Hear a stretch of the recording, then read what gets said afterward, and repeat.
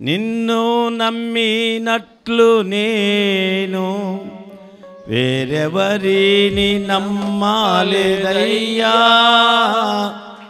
నీకు నాకు మధ్య దూరం తొలగించావు వదిలుండలేక. అందరూ నిన్ను నమ్మి నట్టు నేను ఎవరిని నమ్మాలేదయ్యా నీకు నాకు మధ్య దూరం తొలగించావు వదిలుండలేక. నా ఆనందం కోరేవాడా? నాశలు అందరూ. తీర్చేవాడా?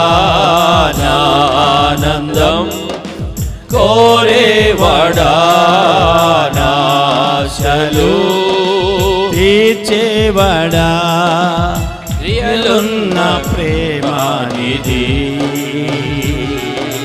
నిజమైన ధన్యత నాది యేసయ్యా గ్లోరీ యేసయ్యా ఆమేన్ యేసయ్యా అందరూ యేసయ్యా ఎసయ్యా ఎసయ్యా మేలు చేయక నీవు ఉండలేవయ్యా. ఆరాధించక మేము ఉండలేమయ్యా. గట్టిగా. మేలు చేయక నీవు ఉండలేవయ్యా. ఆరాధించక మేము ఉండలేమయ్యా. ఏసయ్యా. ఆమేన్. ఏసయ్యా ఏసయ్యా ఏసయ్యా ఏసయ్యా. గ్లోరీ యేసయ్యా ఏసయ్యా ఏసయ్యా. అల్లెలుయా ఆయన నమ్మినట్లు ఇంకెవరిని నమ్మకండి. Don't believe your best friend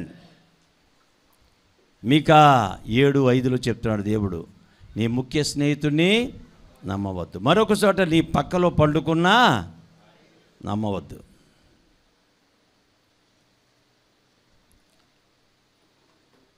దేవుని వాక్యం అక్షరాల నిజం. ఈయన నమ్మాలి ఈయన వాగ్దానం నమ్మాలి ఈయన మాట నమ్మాలి ఈయన వాక్కు నమ్మాలి ఈయన ఏమి సెలవిస్తుంది నమ్మాలి. దేవునికి స్తోత్రం. హల్లెలూయా ఆయన చెప్పాడు కనుక ఆయన కార్యాలు చేస్తున్నాడు. ఇంచుమించు ప్రియులారా చాలా రాష్ట్రాల నుంచి సేవకులు రాబోతున్నారు. నేను అందరికీ ఇంటిమేషన్ చేశాను. వచ్చిన వారు ధన్యులు రాకపోతే మనం ఏమీ? యేసుప్రభు వారు విందు సిద్ధం చేసి రాజుగారు ఓ రాజుగారు ఉపమానం చెప్పారు కదా బ్రహ్మాండమైన విందు. అది రాజుగారి విందు ఎలా ఉంటుందండి సులోమన్ రాజుగారి విందు గురించి బైబిల్లో చదివితే రాజుగారి విందు ఎలా ఉంటుందో మీకు తెలుస్తుంది. అలాంటి విందు సిద్ధం చేసి రమ్మంటే ఒకడు దోడను కొనుక్కుంటాడు ఒక గాడిదని కొనుక్కుంటాడు ఒక పెళ్ళికి వెళ్తాను ఒకడే దానికి మీ ఇల్లు? ఇంకా విచిత్రమైన సాకులు ఏంటో చెప్పమంటారా? దోణ్ణు కొన్నాను దాన్ని చూడడానికి వెళ్తున్నాను అన్నాడు ఒక ఆయన. ఏమంటే చూసుకుంటాడా చూడకుండా కొంటాడా? చెరులో గేదెని పెట్టి ఎవడన్నా బేరం ఆడతాడా? ఈయన కొన్నాడట ఎడ్లు కొన్నాడంట చూడడానికి వెళ్తున్నాడు ఇప్పుడు. అయ్యో! ఎంత పచ్చి అబద్ధమా? మన వాళ్ళు క్రైస్తవులు అలాగే అబద్ధం. అయ్యగారండి వద్దామని రాత్రి అంతా ప్రార్థన చేశానండి ఉదయానికి ఒక శనేశ్వరుడు వచ్చి మా ఇంటి మీద కూర్చున్నాడు. ఆ ఎవరి ద్వారా వచ్చాడు అనుకోండి మా ఆయన ద్వారానే వచ్చాడు. అంటాడు అక్కలంత తెలివిగా తప్పించుకునే మాటలు మాట్లాడతారు. మరి మీరు కాదండి ఎలాగైతే ఇక్కడికి వస్తారేంటి? చాలామంది. బ్రదర్స్ అంటారు అయ్యా నేను వద్దాం అనుకున్నాను కానీ మీకు తెలీదా బాబు నా బాధ నా బాధ? నా బాధ మీకు తెలీదండి? రెండు కొట్లు తీసుకున్నాను తెలీదా? రెండు ఓటర్లు పెట్టాను మీకు తెలీదా?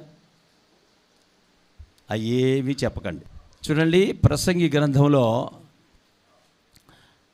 ఒక అందరికీ బండ గుర్తుగా గుర్తుపెట్టుకునే మాట ఒకటి చెప్పండి. వ్యాధి.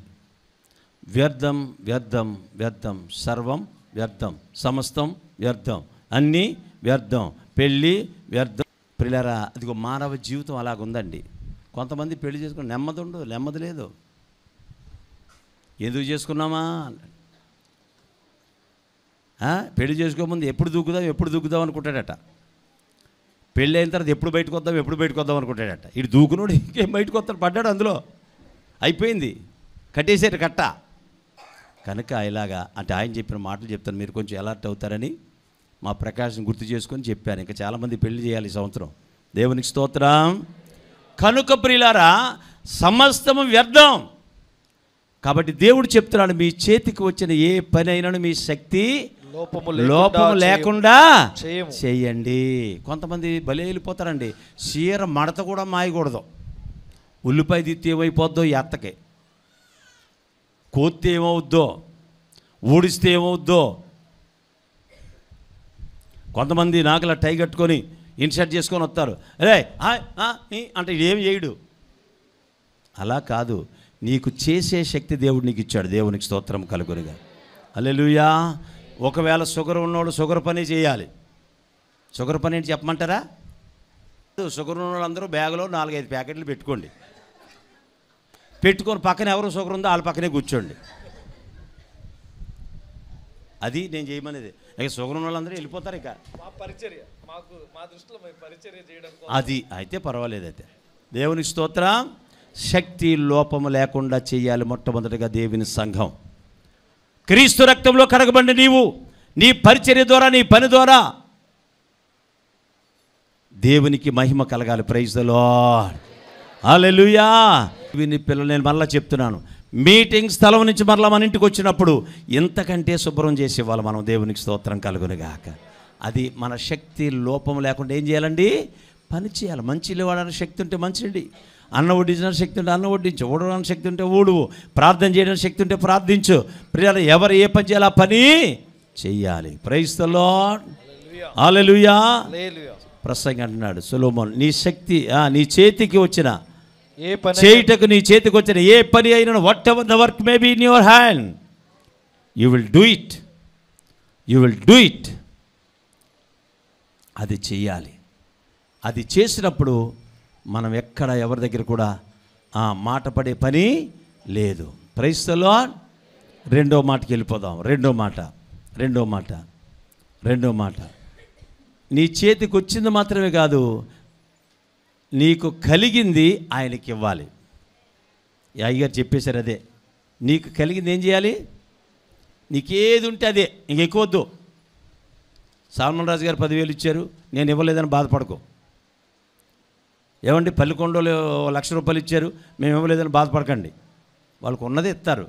ఈ బాధపడొద్దు. నీకు కలిగిందే whatever you have in your hand ఆ చిన్నవాని చేతిలో ఆ చిన్నవాని చేతిలో లూకాసు వార్త ఆరో అధ్యాయం ఆరు నుంచి తొమ్మిది వరకు ఇందాక చదివేశారు కదా? ఐదు రొట్టెలు రెండు చేపలు. నాకు బెంగళూరు వెళ్తే నా పేరు ఏం పేరు తెలుసా? ఐదు రెట్లు రెండు చేపలు పాస్టర్ గారు వచ్చారంటారు. బెంగళూరులో మొట్టమొదటి ప్రసంగం అదే చెప్పాను చెప్పాను. ఇప్పటికే వాళ్ళు గుర్తుంచుకుంటారు. ఎప్పుడైనా చెప్తాను ఇక్కడ కానీ చెప్పలేకపోతున్నాను టైం రావట్లే. అది సామాన్యమైన విషయం కాదు. ఐదు రొట్లు రెండు చిన్న చేపలు. ఆ చదవండి ఆ మాట చదవండి. ఇక్కడ ఉన్న ఒక చిన్న పెద్దోళ్ళ చిన్నోళ్ళ? రే పెద్దోళ్ళ చిన్నోళ్ళ? చెప్పండి. వీళ్ళంతా చిన్నోళ్ళు. ఆ, ఇక్కడున్న ఒక చిన్నవాని యొద్ద ఐదు ఎవల రొట్టెలు ఐదు ఎవల రొట్టెలు రెండు చిన్న చేపలు ఉన్నవి గాని చిన్న చేపలు ఉన్నవి కానీ ఇంతమందికి ఇవి ఏమాత్రమని ఆయనతో అనగా